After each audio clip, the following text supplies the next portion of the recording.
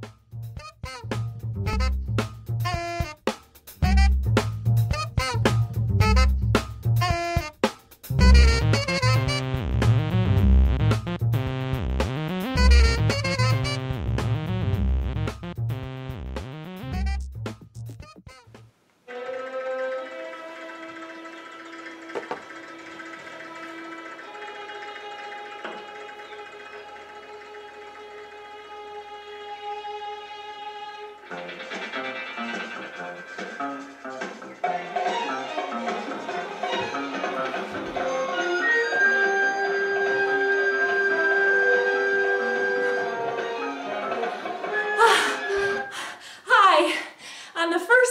Of Terrific TV Toys, you saw four action figures slash dolls by Kenner from the 1970s celebrating the TV shows The Six Million Dollar Man and The Bionic Woman. They were fabulous! Now let's turn our attention to five newer figures. These are by Bif Bang Pow. They're released in 2012 and they're way different from those Kenner originals. This is a five-part series coming at you and each one of these parts is an out-of-the-box experience.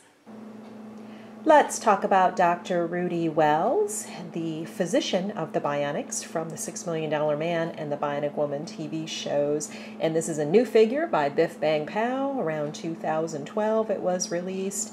And Dr. Rudy Wells was not the subject of one of the original figures by Kenner in the 1970s. This is a whole new thing. As far as I know, this is the only, or maybe I should say this is the first figure of Dr. Dr. Rudy Wells that was done. I don't know of any others offhand.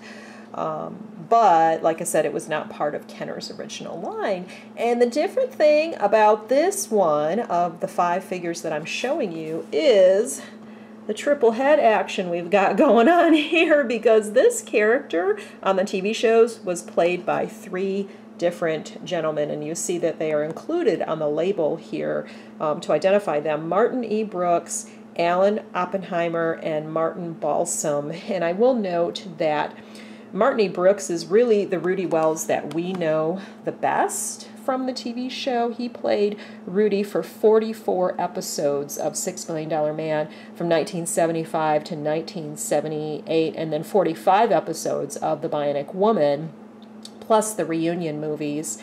Now, Alan Oppenheimer played Rudy in seven episodes in 1974 1975 um, for the Six Million Dollar Man. And then Martin Balsam was Rudy in the original 1973 movie, so that's why he is included here too. It does say on the label uh, to switch heads, heat with a blow dryer or soak in hot water.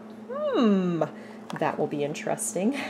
So the packaging is really the same as the other figures you saw. I will note that this is a sticker here with his name on it. I could probably try to peel it off and see what's underneath if I really was curious enough. I don't want to ruin the packaging though because I am going to keep the card. Yeah, I'm going to ruin the packaging so I'll leave it as is. But yeah, that's a sticker. The back is the same. The original five characters, actually six characters of this wave are shown here. We do know that there were others released after that, which I discuss in the other episodes of this series.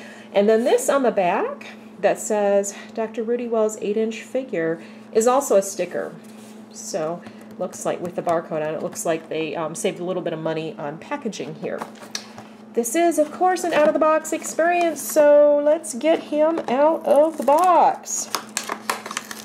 We'll start from the top. That seems to be easiest with these figures I have found. And I am going to hang on to the card. And we'll just take this part off for Rudy. Come on, Rudy. There we go. Okay, we'll set that aside.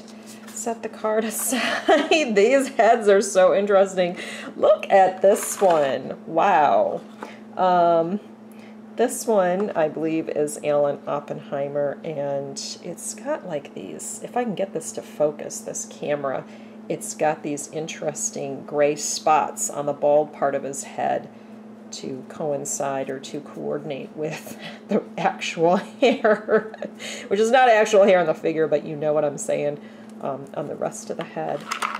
And then we've got this other one is he wearing Martin Balsam? It seems like he's wearing Martin Balsam, and maybe this is Martin E. Brooks. Does this look more like Martin E. Brooks to you? I don't know. I'm going into this cold, so um, I just know that Martin E. Brooks is the Rudy that I know from the TV show. Let me get him all unhooked here. Just got one little twist tie thing there and here, and then this just comes off this plastic part like that. So here's Rudy Wells, and he's got his scrubs on. His um, typical green surgical scrubs. He's got feet with sneakers on them that look like they can be removed, but I'm not going to force them at the moment. And then the scrubs have Velcro in the back, and then he's got similar imprint and printing as the other figures, 2012 Universal Studios Bif Bang Pow, and then um, MC Toys here, made in China. So yeah, very similar to the other figures we've looked at in the other episodes. See if I can get that all squared away and straight. There! Okay, so very simple outfit, just a shirt, and pants and sneakers. But the interesting thing is the head. Should we try to switch his head? I don't think we can do this episode without trying, you know. Okay, because if you just try to take it off, you could break it. So, um, luckily, I have here a handy dandy blow dryer and talking about the 70s and 80s, this is also a 70s and 80s relic. I will note, I'm not going to even tell you the history of this blow dryer. Um, says to heat the head. Um, to switch heads, heat with a blow dryer or soak in hot water. We'll try this method first. We'll see if it works.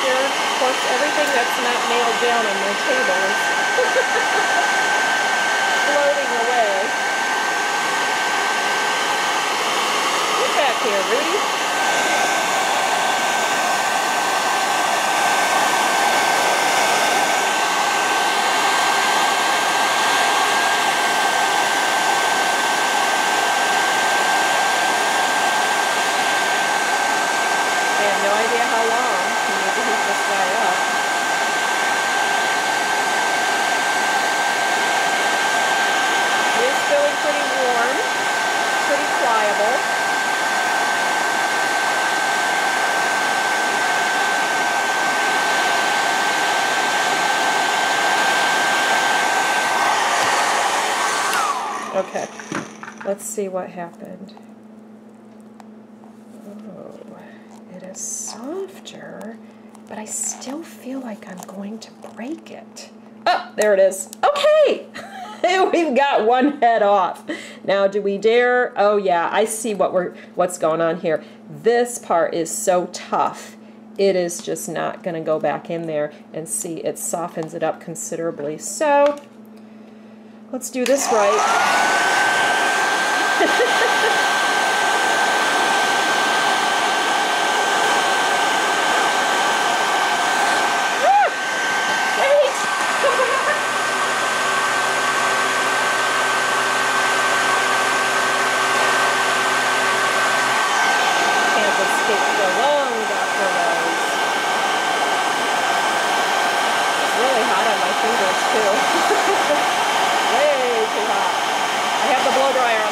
setting, by the way. Okay, it's feeling pliable now. All right, let's see if we can do this. We want to switch out to this head. Oh my heavens, it's really tough. Ugh! I think we gotta nuke it again. It's so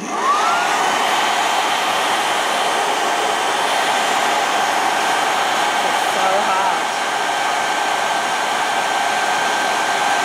Come on now.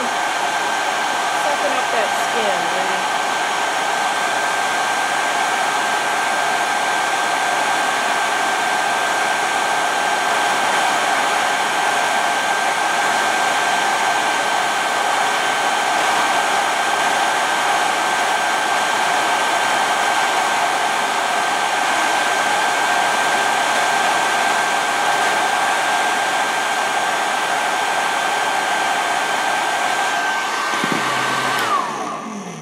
I wonder if hot water would have been faster. Come on now.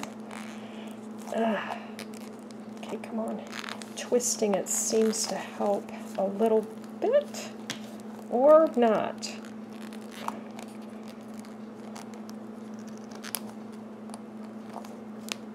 Wow. That is, oh, okay.